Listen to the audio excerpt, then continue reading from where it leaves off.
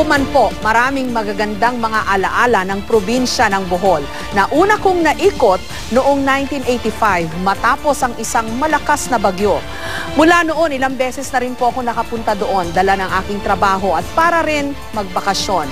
Katulad ng maraming mga Pilipino, isa po ako sa mga humahanga sa kagandahan ng Bohol at namamangha kung paano pinahalagahan doon ang mga lumang simbahan.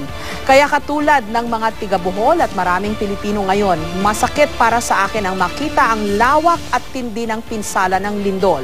Pero nasira man ang mga tourist attraction at ang mga lumang simbahan, maswerte pa rin tayo dahil marami tayong naipong magagandang alaala ng Bohol na pakaiingatan sana hanggang sa ang Bohol ay muling makabangon.